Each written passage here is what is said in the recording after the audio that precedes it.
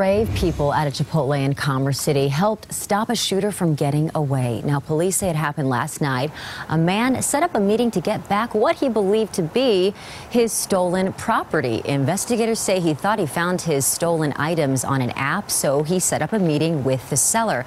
When he confronted the seller, a fight broke out. Witnesses say the seller fired a gun inside the Chipotle, hitting the man in the leg.